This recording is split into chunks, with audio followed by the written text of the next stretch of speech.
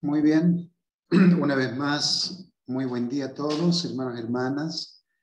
Eh, durante la mañana estuvimos participando de, de la primera parte de la liberación y bendición de antepasado, centralizado en Paraguay, por eso comenzamos un poquito tarde. Fue muy interesante y bueno, ahora queremos invitar a nuestro hermano mayor, el hermano Edgardo Hernández, pastor de la región eh, de Concepción. Vamos a invitarlo para que él pueda dar inicio al sermón dominical. Si quiere, ¿puede ofrecer una oración, Edgardo, antes? Sí, por favor. Voy a hacer una oración. Canón Pumunín, Chan Pumunín, muy buen día. Muchas gracias, Padres Celestiales, Padres Verdaderos, por darnos la oportunidad de estar viviendo en una época tan importante en la historia humana. Durante la mañana estuvimos participando de la primera parte de la liberación y bendición de antepasados y realmente no tenemos eh, comparación a ninguna época en la historia como la que estamos en, en este momento. Padre, ahora vamos a dar inicio al sermón dominical. Te pedimos que puedas bendecir a nuestro hermano Edgardo Hernández para que pueda recibir tu inspiración y de esa forma, Padre, podamos tener tu palabra en nuestros corazones y motivarnos para que durante la semana caminemos siempre bajo la visión de los padres verdaderos en nuestra vida. Por favor, bendícelo y usa a nuestro hermano Edgardo Hernández como tu instrumento para entregar tu palabra a cada uno de nosotros. Ofrezco esta oración con mucha gratitud en mi nombre Javier Sierra y Edna Sousa, miembro de la familia central bendecida Ayú. Adelante, Edgardo. ¿Vas a compartir pantalla? Eh, sí, por favor. Un momento. Ahora sí.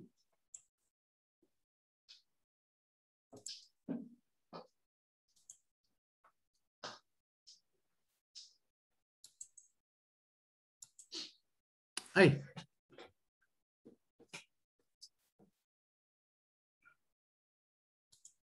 Ok. Primero, eh, buenos días a todos los hermanos y hermanas. Eh, me gustaría compartir eh, de la, nuestra Sagrada Comunidad de Hanul Pomonim, de la Sagrada Comunidad de los Padres Celestiales, un nuevo, el concepto del nuevo pacto. Está primero en, está en Hebreos, en el capítulo 8, versículo 8 al 13. Dice así, porque reprendiéndolos dice, he aquí vienen días, dice el Señor, en que estableceré con la casa de Israel y la casa de Judá un nuevo pacto, no como el pacto que hice con, con sus padres el día que los tomé de la mano para sacarlo de la tierra de Egipto, porque ellos no permanecieron en mi pacto, y yo me desentendí de ellos, dice el Señor. Por lo cual, este es el pacto que haré con la casa de Israel Después de aquellos días, dice el Señor, pondré mis leyes en la mente de ellos y sobre su corazón la escribiré y seré a ellos por Dios y ellos me serán a mí por pueblo y, ninguno enseñará a su prójimo ni ninguno a su hermano diciendo, conoce al Señor, porque todos me conocerán, desde el menor hasta el mayor, hasta el mayor de ellos, porque seré propicio a sus injusticias y nunca más me acordaré de sus pecados y de sus iniquidades. Al decir, nuevo pacto ha dado por viejo el primero, y lo que se da por viejo y se envejece está próximo a desaparecer.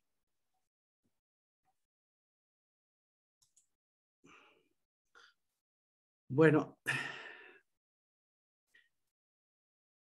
cuando, eh, cuando el presidente Javier me, me comunicó que, que diera el sermón, para mí, yo creo que para todos nosotros es un gran desafío porque encontrarlo, encontrar las palabras, encontrar el concepto, llegar a, sentir qué es lo que Dios quiere compartir, ciertamente que no, no es nada de fácil, ¿no?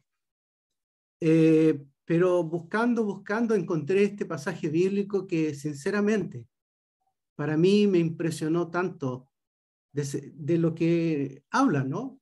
Es, si uno lo toma así como eh, superficial, como, pasa nomás, ¿no? Como que pasa, como el agua que pasa y escurre. Pero si uno empieza a meditar lo que dice exactamente, tiene mucho más sentido, mucho más, mucho más contenido, ¿ya? Lo que a mí más me impactó fue el tema cuando él dice, eh, por lo cual, este es el pacto, dice, que haré con la casa de Israel después de aquellos días, dice el Señor. Y ahí dice, en el versículo 10, dice, pondré mis leyes en la mente de ellos y sobre sus corazones les, la escribiré. A, mí me, me, hizo mucho sentido cuando si nosotros entendemos el curso que, que llevó la historia, ¿ya? Y por eso lo que más yo quiero enfatizar es el camino que los padres celestiales han, tenido que recorrer desde la caída del, primer hombre y la primera mujer, ¿no? Eh, siento que es eh, realmente la clave, ¿no? Como dice el principio divino, si Adán y Eva se hubieran llegado a perfeccionar como el Hijo de Dios y la hija de Dios, ciertamente ellos habrían alcanzado la posición de los primeros padres verdaderos, ¿no? ellos habrían logrado la posición de padres verdaderos. Por lo tanto, el linaje de Dios habría establecido, ¿no? A través de el primer Adán y la primera Eva. Por lo tanto, la historia ciertamente hubiera sido una historia del bien, como dice el principio divino, ya que todo hubiera estado centralizado en el bien. Pero como nosotros sabemos, Adán y Eva no cumplieron el mandamiento de Dios de no comer del fruto de la ciencia del bien y el mal. Como, como lo explica claramente la Biblia, Eva comió de ese fruto y, dio a Adán también, y ambos cayeron, ¿no? Eh, eso, con, eso lleva una historia de seis mil años del pecado, de la maldad, de la lucha entre el bien y el mal en todos los niveles, desde desde el individuo hasta el nivel mundial y aún el cosmos mismo, la unión, aún el mundo espiritual y el mundo físico envuelto en todo este conflicto. ¿ya? Entonces, tenemos que entender que si Adán y Eva realmente hubieran cumplido su responsabilidad, hubieran crecido, hubieran madurado, como dice el principio divino, hubieran cumplido la primera, la primera bendición de ser fructífero, y el principio divino enseña, ser fructífero significa que el hombre alcanza la unidad, de, la unidad con Dios como la unidad de la mente y el cuerpo, ¿no? Se hace uno con Dios. Por eso en el pasaje bíblico que estamos leyendo hoy día, en el versículo anterior del capítulo 9 y el versículo 28 dice algo muy importante, dice, porque la ley constituye sumo sacerdote a, a debilidades, a debilidades hombres pero la palabra del juramento posterior a la ley, al Hijo hecho perfecto para siempre. Eso explica claramente, ¿no? Que Dios necesita establecer un hombre victorioso y eso es el Mesías, ¿no? Entonces, encontré que este nuevo pacto, ¿ya? Está indicando claramente la segunda venida, ¿no? Absolutamente. Lamentablemente, hemos tenido, el, cristianismo ha concentrado la segunda venida en las nubes del cielo, ¿ya? Como un gran eh, acontecimiento que solamente que a partir de allí empezaría el reino en los cielos. Pero acá, acá a mí me impresiona mucho cómo Dios dice, ¿no? Le pondré las leyes en las mentes de ellos y escribiré en sus corazones y la escribiré en sus corazones. Esto demuestra un vuelco completamente, para mi manera de ver, un vuelco completamente a la historia, ¿no? que a partir de la, de la resurrección de Jesús y a partir de este nuevo proceso, este, este proceso de establecer ¿no? el, al cristianismo para el fundamento de la segunda venida, es lo como el principio vino explica, ¿no? Explica así como Dios estableció a Abraham, Isaac y Jacob como los primeros padres victoriosos. Es lógico, es lógico pensar que Adán debería haber sido, ¿no? Pero después, pero, eh, pero como falló Adán, entonces se trasladó a la historia en el tiempo de Abraham, Isaac y Jacob. Y por eso la Biblia dice que Jacob tuvo 12 hijos y así sucesivamente fue eh, estableciéndose una nación para la llegada del Mesías. Pero el cristianismo también, este, Jesús mismo establece 12 apóstoles, 70 discípulos, porque esa es la base para eh, recibir al, a la segunda venida, ¿no? Recibir al Señor de la segunda venida. Entonces, hoy en día, nuestro movimiento de la Sagrada Comunidad de Janul Pomonín o la Sagrada Comunidad de los Padres Celestiales, en realidad está revelando, como lo dice acá, está revelando lo que Dios está, eh, lo que Dios está haciendo a través de toda la historia y especialmente este nuevo pacto está demostrando que Dios es uno solo, ¿no? Entonces, inclusive cuando dice no, no va a ser necesario de que nadie le diga a su hermano, oye, te muestro, te voy a, a, mostrar a Dios, ya que todos sabremos que Dios es uno solo. Por eso vemos que hay una, yo veo una claridad bastante mayor, ya que el cristianismo, tristemente, si nosotros pensamos la historia que ha transcurrido en el cristianismo, lamentablemente hay una historia de bastante rivalidad entre iglesias nuevas, iglesias antiguas, y la lucha constante, ¿ya? De destrucción que, hasta matanza, ¿no? Hasta las guerras religiosas. Entonces, ciertamente, en el corazón de los padres celestiales, en el corazón de Dios, no, no, no está ese concepto, ¿no? Dios no tiene ese concepto. Dios realmente es Dios de todos nosotros. Entonces, hoy día nosotros estamos avanzando en la historia humana y estamos, como dice la Biblia, llegando a los últimos días. Hay un pasaje también que lo, lo dice Apocalipsis en el capítulo 21, que dice cielo nuevo y tierra nueva. nueva. Y prácticamente es como el último, casi el último pasaje bíblico, porque termina con el Apocalipsis, termina con el, eh, capítulo 22, ¿no? Y dice, en el capítulo 21 dice, vi un cielo nuevo y una tierra nueva, porque el primer cielo y la primera tierra pasaron y el mar ya no, ya no existía más. Y yo, Juan, vi la santa ciudad, la nueva Jerusalén, descender del cielo, eh, descender del cielo de Dios dispuesta como una esposa ataviada para su marido.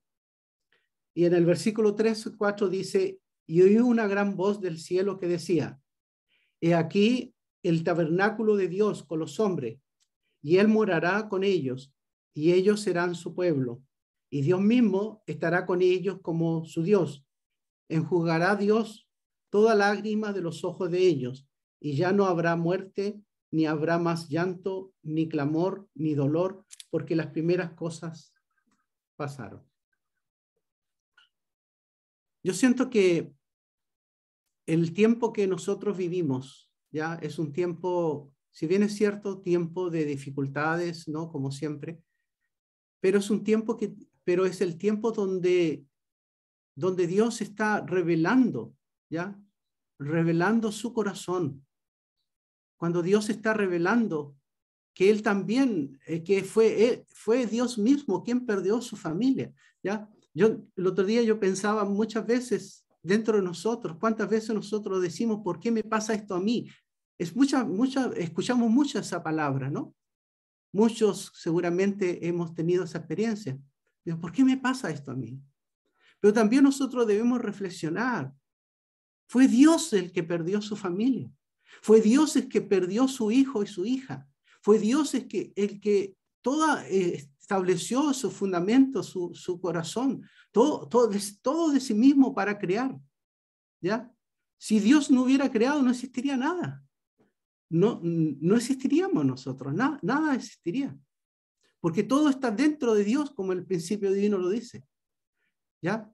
Todo existía dentro de Él. Pero porque Dios es un Dios de amor, Dios necesita un objeto para dar ese amor. Entonces Dios sintió que quería tener un objeto semejante a Él. Por eso Dios nos creó. Pero para que Dios nos pudiera crear, Dios tuvo que crear durante los seis días, como dice la Biblia. Dios creó los, hasta el sexto día. Y ahí Dios, ahí Dios creó al hombre, ya después del sexto día, como cumpliendo toda su creación, su máxima creación de crear a Adán y Eva, ¿no? Entonces, por lo tanto, yo siento que este es el tiempo de los padres celestiales. Por eso nuestro movimiento inició el año pasado como la, la, comunidad sagrada del Hanun Pumunin, la comunidad sagrada de los padres celestiales. Abrazando, abrazando, como muchas veces lo hemos visto en el rally, abrazando siete, siete representantes de diferentes religiones, tomando ellos cada uno portando su agua y, haciendo la ceremonia de la unión de las aguas, ¿no? Porque eh, yo siento que es muy significativo. Siento que Dios, nosotros mismos, una vez el Padre verdadero dijo, si nosotros entendiéramos el corazón de Dios, si nosotros sintiéramos su corazón, no, no podríamos, porque es muy grande la pena de Dios. Pero también podemos entender que Dios también siente alegría, ¿no?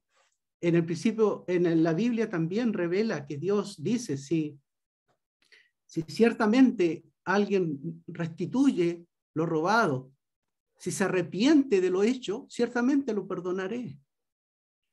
Hay, un, hay, hay realmente un punto que sí me gustaría explicar, que el principio vino lo explica. El principio vino lo explica la restauración por indemnización. Creo que muchos de nosotros, probablemente cuando conocimos el principio vino, no teníamos ese concepto de la restauración, ¿no? la restauración por indemnización. Entonces muchas veces uno piensa, bueno, si Dios es Dios, Dios perfectamente podría hacer todo nuevo. Parece fácil, ¿no? Pero lamentablemente Dios no lo puede hacer, porque Dios también rige por sus propias leyes, Dios tiene sus leyes. Por eso eh, aquí dice, le pondré a, los hombres la, la ley en sus mentes y en su corazón la escribiré. Eso nos lleva al tiempo de Moisés, ¿no? Antes de Moisés no estaba, la, no, no, la ley se había perdido, se perdió por la caída. Entonces Dios para poderlo, para poder eh, volver al hombre otra vez en este proceso, el principio vino habla que tenía que dividir a Adán y Eva, tenía que dividirlo en dos, tenía que dividir el bien y el mal, separar el bien y el mal.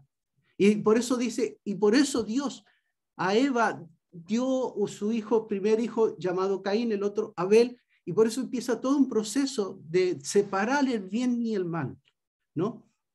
Entonces Dios necesita establecerlo, por eso eh, en ese periodo de tiempo Dios pidió a Moisés, ¿no? Y, acuérdense que Moisés tuvo que inclusive haber, eh, tuvo que ayunar 40 días para que Dios pudiera escribir en una piedra, ¿no? Ya no voy a explicar tanto, pero sabemos que lamentablemente la primera, la primera vez falló Moisés y Dios tuvo que, otra, eh, tuvo que ayunar nuevamente 40 días y Dios escribió nuevamente la tabla de la ley. Entonces, demuestra que la historia real es la historia que está detrás de los acontecimientos humanos, ¿no? A nosotros, como, como dice el principio vino, parece la historia como, como algo, como algo que tiene, por ejemplo, que es muy particular, ¿cierto? pareciera que las luchas y todo eso pareciera que solamente dificultades horizontales solamente, ¿no? Entre hombre, de la idea de una persona con otra, etc. Pero el principio vino dice, detrás de la historia, detrás de las acciones del ser humano, hay, una, hay la expresión del, de Dios y Satanás, ¿no? La expresión del bien y el mal que está detrás de la historia humana. Entonces, por eso, si uno lee este pasaje bíblico, podemos entender a Dios tratando de restaurarnos, tratar de llevar al hombre que cayó tan bajo, ¿no? Que como, como el concepto del hombre en las cavernas, ¿no? No, no, no había, no había un estado espiritual, no había un, no había un concepto, un concepto también de amor, ¿no? Como el principio vino dice, Dios es amor, por lo tanto el amor viene de Dios, no viene solamente de nosotros. También Dios es, ha educado a nosotros como, como desde niños, ¿no? Como igual como nosotros cuando educamos a nuestros hijos de niño de, de, nivel muy bajo. Un nivel donde el hombre no podía relacionarse con Dios directamente. Entonces, podemos pensar un poco en Dios. Podemos pensar en los padres celestiales que los padres celestiales ha cargado toda la historia. Dios ha cargado toda la historia humana. Yo me acuerdo años atrás con, con el señor Oster el señor Villete, leíamos un pasaje, una historia cristiana donde una persona iba caminando por, caminando por la playa y después miraba atrás y miraba y decía, bueno, veo solamente dos pasos, o sea, pensando que, eh, que era solamente él el que iba caminando. Y, se hace, y mira a Dios y le dice, pero Dios, tú me dejaste solo. Y después le dice Dios, no, yo te cargaba a ti, estos son mis pasos. Muchas veces nosotros también, a veces pensamos solamente en, solamente en nosotros mismos, como ese concepto. ¿Por qué me pasa esto a mí? pero no vemos el trasfondo, ¿no?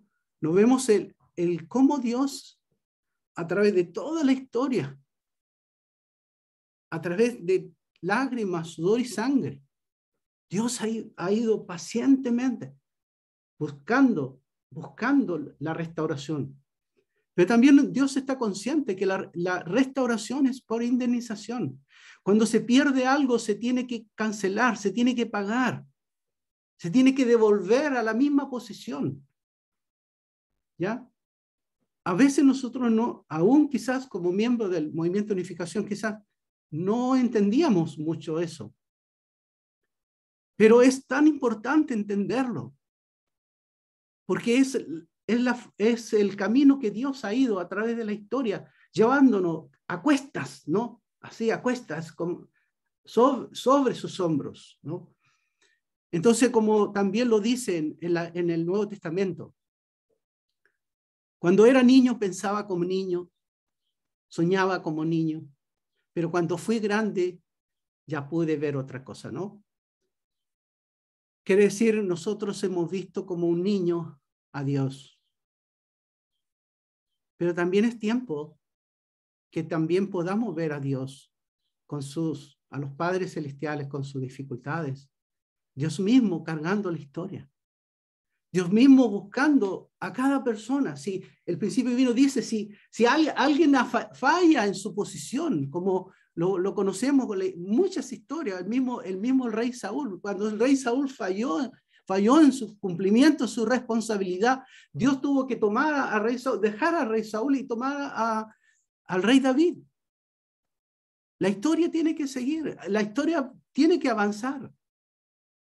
Pero no solamente miremos eso solamente externamente, miremos cómo Dios en su, en su amor nos ama tanto, pero aunque Dios nos ama tanto, Dios también está consciente de sus leyes y principios que no pueden ser violados, no pueden ser, ser simplemente sacados, decir, ah, ya, yo soy Dios y, simplemente lo hago.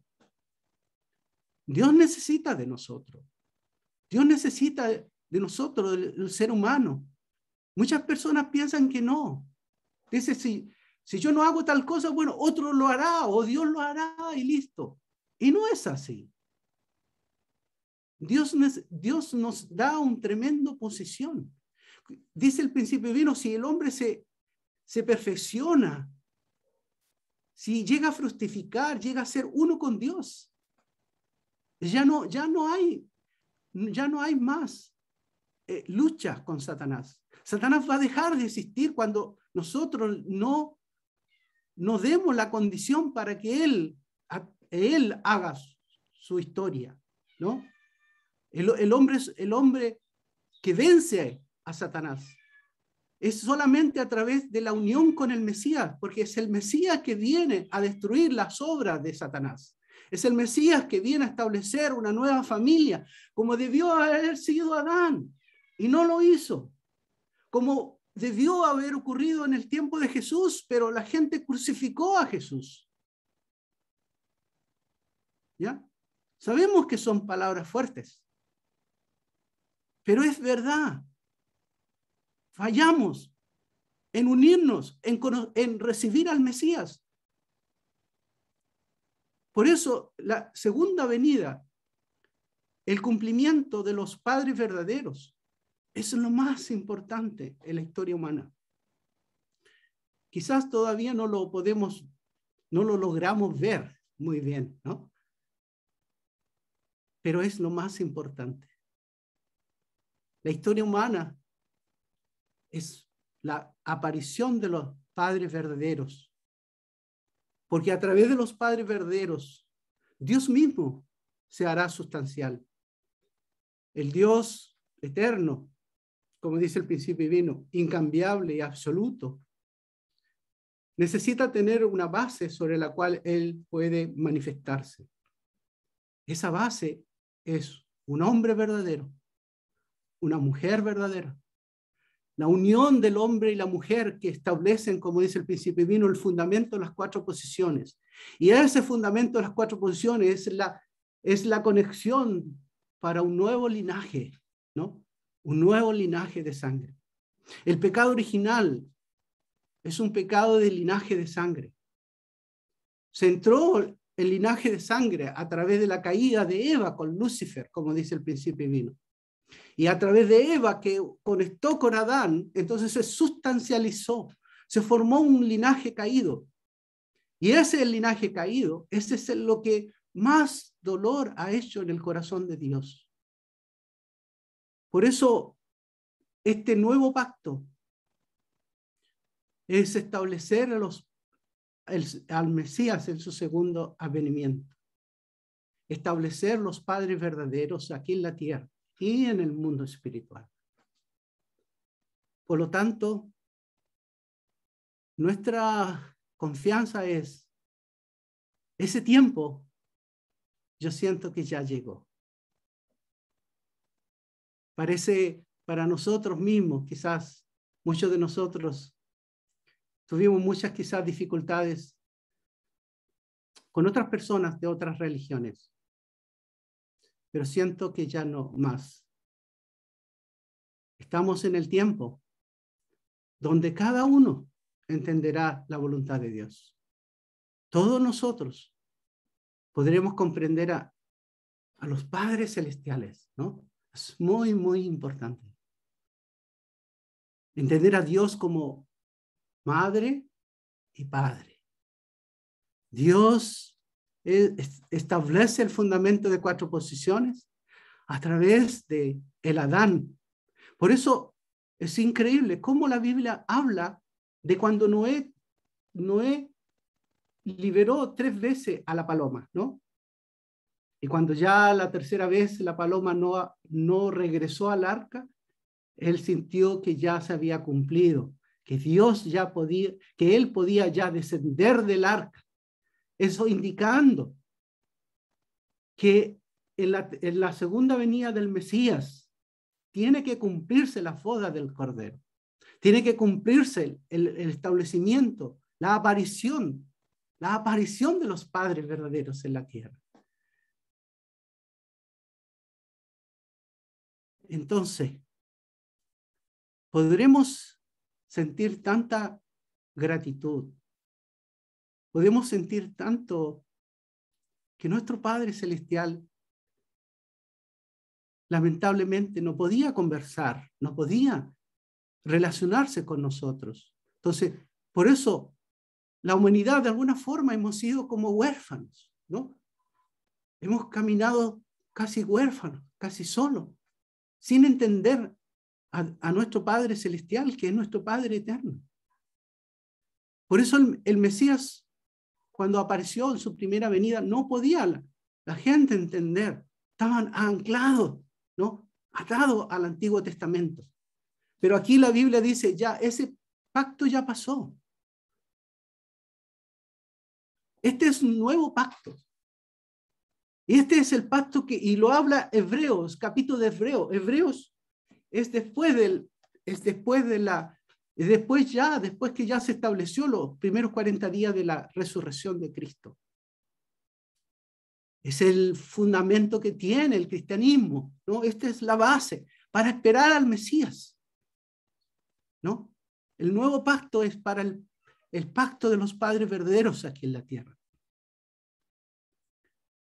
Por eso siento que, que eso no es, eso es lo que nosotros hoy día, lo que ahora está haciendo nuestro movimiento. Está abrazando, abrazando a toda la fe, porque existe solo un Dios, existe solamente unos padres celestiales. ¿Cómo es ese camino? ¿Cómo es esa unión? Esa es el desenlace de nuestros corazones. ¿Ya? ¿Cómo nosotros podemos lograr unir nuestra mente y cuerpo, ¿no? Cumplir, cumplir el, la primera bendición de, ser fructífero, de vivir centralizado en Dios, ¿no? Como el padre, el padre muchas veces nos dijo, vivir como el sol de mediodía, ¿no? El sol de mediodía significa no hay, no, no proyecta sombra. Que ya no, hay, no haya ningún fundamento que Satanás pueda acusar a, alguien. Satanás solamente va a acusar cuando nosotros establecemos una condición mala. Si nosotros no establecemos una condición mala, Satanás ya no puede acusarnos. También tenemos que entender, después tenemos que establecer esa condición en nuestra familia. Ya Satanás no puede estar, establecerla. Y esa única parte, como el Padre verdadero, antes de irse al mundo espiritual, nos dijo tantas veces, cuidar, cuidar, cuidar la semilla, cuidar el linaje de sangre. El linaje de sangre es tan precioso, por favor. Es, es realmente el tesoro que nosotros tenemos, es el linaje de sangre. El linaje de sangre para nuestras futuras generaciones que pueden conectar a este, a este nuevo pacto. ¿No? Pueden conectar tanto espiritualmente como físicamente. Por eso tan preciosos los padres celestiales, tan preciosos los padres verdaderos. Y tan precioso también cada uno de los hermanos y hermanas, tanto aquí en el mundo físico como en el mundo espiritual. Porque el reino de, el reino de los cielos el reino de los cielos ya está. Y ha estado mucho tiempo. El tiempo es cómo nosotros lo podemos establecer. ¿Ya? ¿Cómo podemos unirnos? Como aquí me, impactó mucho realmente. Después que dice que pondré, pondré mis leyes en la mente y sobre su corazón lo escribiré, y, será, y seré a ellos por Dios y ellos me serán a mí por pueblo. Ninguno de su hermano diciendo conoce al Señor, porque todos me conocerán desde el menor hasta el mayor de ellos, porque seré propicio a su injusticia y nunca más me acordaré de sus pecados y su iniquidad. Por eso Apocalipsis 21 dice, vi la nueva Jerusalén, ¿no? como nuestra comunidad está hablando de, del reino de los cielos, la iniciación del reino de los cielos en la tierra. Entonces, vivimos tiempos muy, muy especiales. Vivimos la historia, de la conclusión de la historia, ¿no? Por eso, tan preciosa la posición que tiene la madre verdadera en este tiempo, en este minuto, ¿no?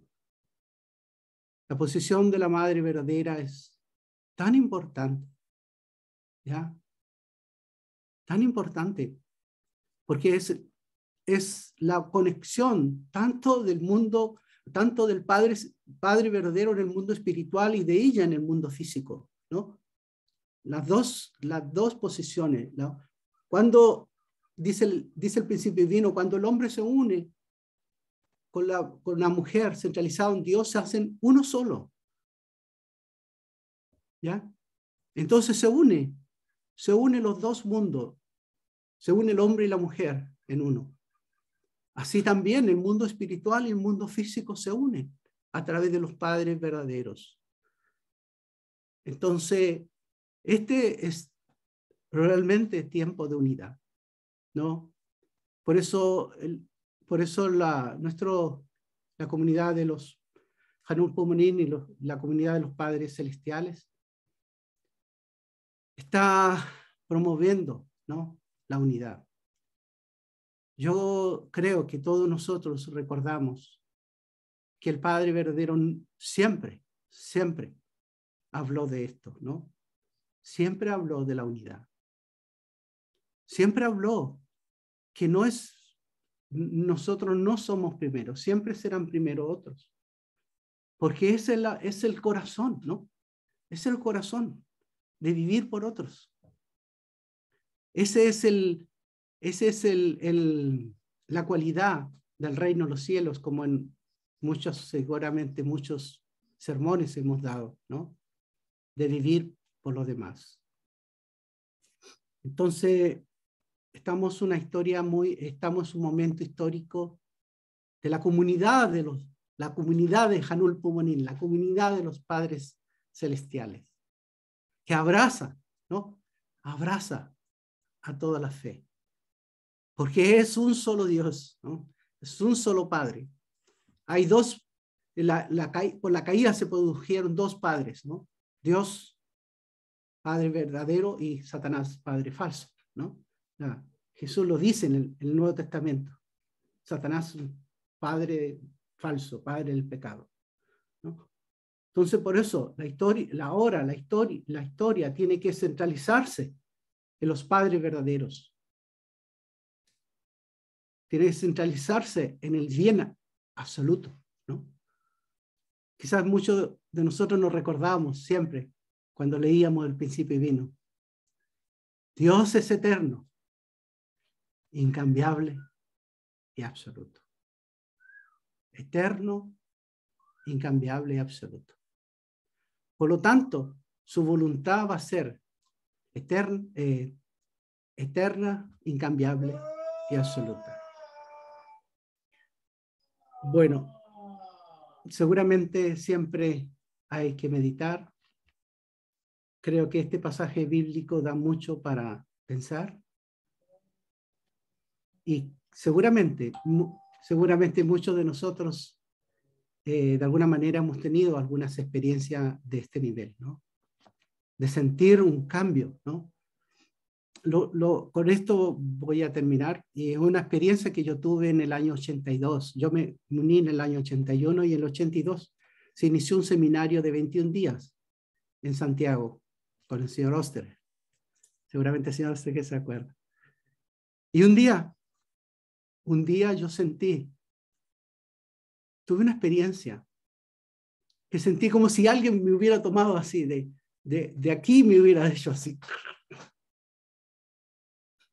Y lo sentí, ¿no? Lo, inclusive lo puedo mostrar si quiera, lo tengo escrito, la fecha que me, me ocurrió. Significa es un cambio, cambio, cambio nuestra mente, ¿no? Después cambio nuestra mente, cambio nuestra manera de pensar, cambio en el corazón. Entonces necesitamos conocer lo que, quién es Dios. Necesitamos entender su corazón, su corazón arduo, duro, difícil, pero aún así su esperanza, ¿no? Su esperanza. La esperanza de Dios es dar fin, término, ¿no? Término al mal. Dios no puede dejar el infierno por la eternidad. No sería Dios eh, incambiable, eterno y absoluto. Por lo tanto, la historia, la historia tiene que, la historia del mal tiene que terminar. Pero no solamente termina con el Mesías, ¿no? Termina con nosotros también. Cada uno de nosotros. Tenemos que dar una vuelta a la historia, ¿no? Un término de la historia del mal y un inicio de la historia del bien. Entonces ahora estamos en el tiempo de inicio de la historia del bien. Yo sentiría mucha alegría. Es la historia. Dios siente alegría. Dios siente mucha esperanza. ¿No? A veces nos abruma la dificultad. Pero también, por favor, tenemos alegría. Sintamos que Dios está y los padres verdaderos están aquí. Y a través de servir a ellos, ¿no? A través de vivir por otros, nosotros mismos encontraremos nuestra finalidad de la existencia. Nosotros mismos encontraremos la razón de vivir. Entonces, que no abrume, ¿no? Satanás, si quieres hablar a nuestra oreja, no, no escucha, no escucha, no. Satanás es muy astuto. Satanás siempre quiere que nosotros solamente concentremos en nosotros mismos, no pensemos en otros. Pero cuando nosotros tenemos cierta empatía a Dios, ¿no? Cuando empatizamos con el Padre Celestial, cuando entendemos Padre, usted fue este camino, Padre, usted fue, usted caminó solo. Usted viendo a su Hijo crucificado, perdonó a nosotros, perdonó a la humanidad, ha cambiado su pacto, pero siempre no ha cambiado su voluntad, no cambia su corazón. Usted es eterno, es absoluto, es incambiable su voluntad.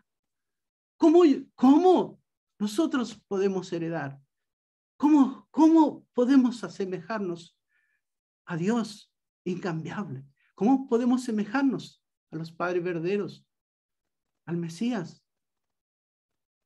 Entonces, vamos construyendo, no aportando la historia caída, aportando a la historia de restauración, a la historia, por eso religión es religar, ¿no? Religión es religar en griego, religar al hombre con Dios, volverlo a Dios, volver, decirle, oye, es Dios aquí. Eso hace el principio divino. El principio divino despierta nuestra mente original. Nos, nos abre mentalmente, espiritualmente, nos da un nuevo corazón. Por eso, cuánto Dios está esperanzado, siento que es mucho. Por eso, no olvidemos. Fácilmente uno puede olvidar. Yo estos días me acuesto pensando, pensando, me acostaba pensando, Dios va, pondré mi, pondré mi ley en tu mente y escribiré en tu corazón mi ley. Me acostaba pensando en eso. Me acostaba qué voy a decir a los hermanos, hermanas. Y sentí que, que es tan importante entender este pasaje bíblico, entender cómo el que tenemos solamente tenía que aceptar a los padres verdaderos. Pero bueno, ok, estamos aquí. Somos los hijos de los padres verdaderos. Llevamos su, su semilla, ¿no? Como hermanos, hermanas. Cargamos la semilla de, de los padres verdaderos. Por favor, no romper esa semilla. No, no corromper el linaje de sangre. El Padre, ¿cuántas lágrimas tenía por nosotros la vanidad? ¿Cuánta madre también? Estoy, ya, dice la madre, ya, ya estoy ya de edad, ya. Está cerca a los 80 años. Pero seguiré absolutamente a establecer el plan de Dios, el Chonilguk, ¿no? El reino de Dios en la tierra y en el mundo espiritual. Muchas gracias, hermanos, hermanas, por su atención. Y vivamos como hijos e hijas de Dios y de los padres verdaderos. Ayo. Muchas gracias, hermano Ricardo, por tus palabras muy profundas, nacen siempre del corazón, sermones. Muchas gracias. Me gustaría pedirle al hermano Ramón si puede hacer una oración de cierre del sermón.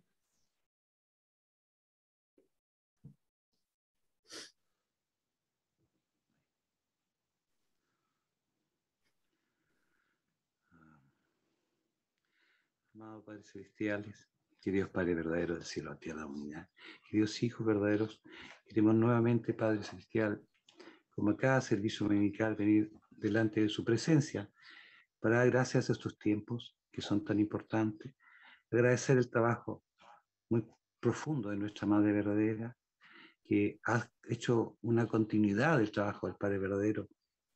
Pues nosotros sabemos que el, el curso era complicado, Padre, el padre, muchas veces el Padre verdadero habló que él necesitaba más vida para poder eh, solucionar el problema del mundo. Por eso, el ideal de que la madre haya continuado el trabajo del padre ha hecho que nosotros también podamos recibir más esta bendición. Y así no se cortaba el trabajo del padre con su vida al mundo espiritual. Hoy día, nuestra madre ha sido más profundamente de más amor, Padre Celestial, de más sufrimiento y más determinación a cumplir el ideal y ha hecho que nosotros también sintamos más inspirados, Padre. Sabemos que no es fácil, que estos son tiempos, Padre Celestial, en que muchos de los hermanos eh, desean cumplir sus objetivos, Padre, pero se han, han, habido muchas dificultades. Hoy día, en este día, hemos sentido gran inspiración por el trabajo de nuestro hermano Edgardo, que realmente ha ido en el punto más preciso, Padre. Realmente tenemos una oportunidad muy grande, olvidar el pasado errado, Padre, realmente comenzar como cada día un nuevo comienzo y restaurar realmente todas las posiciones, Padre, que aún no hemos podido lograr. Somos una comunidad, Padre, en Chile nueva. No hemos logrado las metas que eh, cuando éramos más jóvenes quisimos cumplir. Pero hoy es el tiempo de bendición y de agradecimiento por nuestros hermanos que están realmente esforzándose e inspirándonos para solucionar nuestras dificultades. Muchas gracias por este día por esta mañana, este nuevo comienzo y por el trabajo que está realizando, Padre. Humildemente agradecemos esto y oramos en nombre de nuestros padres verdaderos. Y en mi nombre, su hijo Ramón, y por una familia bendecida. Ayú. Ayú, muchas gracias, Ramón.